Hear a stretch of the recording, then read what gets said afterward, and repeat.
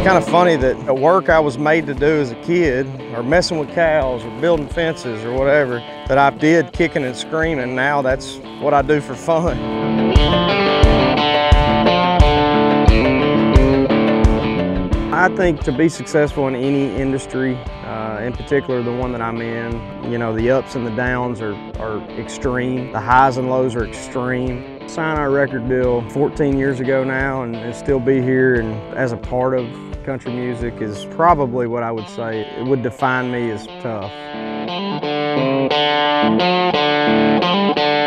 I learned early on in my career that if it was evident that we were having fun on stage. Typically that became infectious and people out there in the audience, if they could see that in us, they would have a good time as well.